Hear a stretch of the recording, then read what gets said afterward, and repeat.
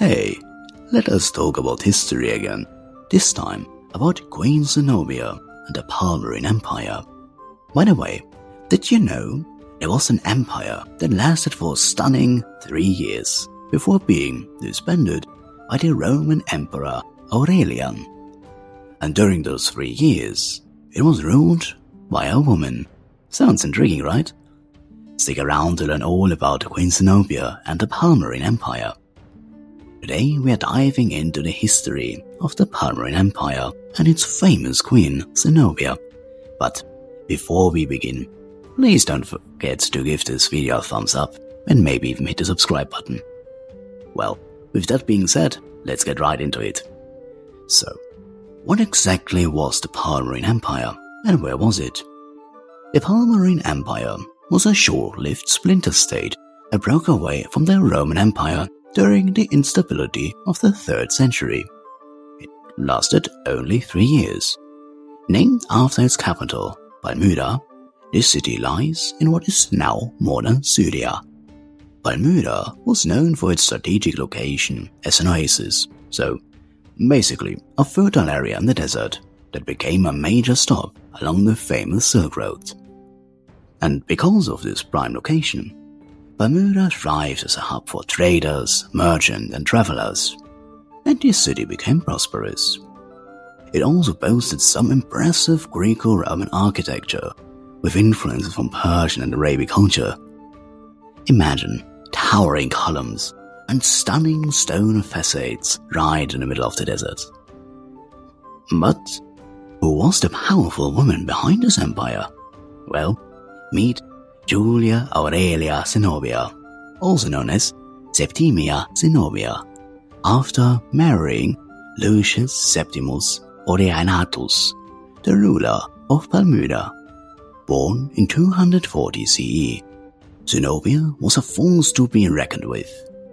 She was a Roman citizen, fluent in Greek, Latin, Aramaic, and Egyptian, a quadrilingual, very impressive. Zenobia claimed descent from two legendary women, Dido of Carthage and the famous Cleopatra VII of Egypt. Pretty nice.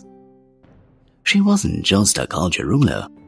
Zenobia was also a skilled horseback rider, famous for marching with her troops and keeping up with them. It said she could outhunt and outdrink any of her soldiers. Now that's a queen with some serious endurance, isn't it? Zenobia's journey to power began after marrying Odaenathus, the ruler of Palmyra. Her husband played a key role in defeating the Sassanids, Persians and gaining favor with Rome.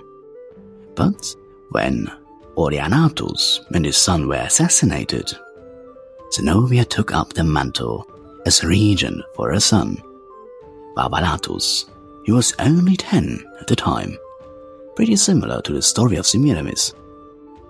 Rome was a mess during the crisis of the 3rd century, with 26 emperors rising and falling in rapid succession. Amidst all this chaos, Zenobia seized the moment to expand her control. She took Egypt and extended her rule to parts of Asia Minor and the Levant. Her bold actions didn't go unnoticed, however. Once Emperor Aurelian came to power, he set his sights on bringing the eastern provinces, including Palmyra, back under Roman control. Although Zenobia minted coins featuring both her son and Aurelian, it wasn't enough to appease Rome. She even adopted imperial titles like Augusta for herself, which was a big no-no because only Roman royalty could use those titles. So, in 272 CE, Aurelian launched a campaign against Zenobia. The two sides clashed in several battles. But obviously, Zenobia's forces were ultimately defeated.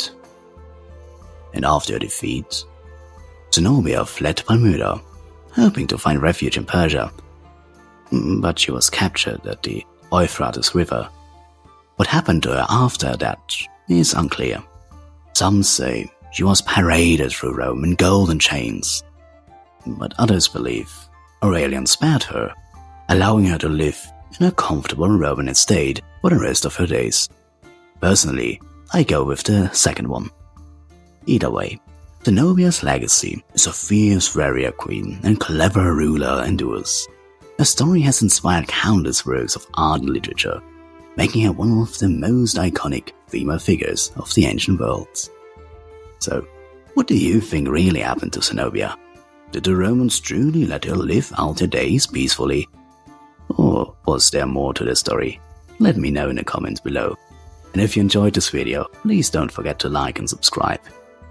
And I've got much more incredible stories from history coming your way.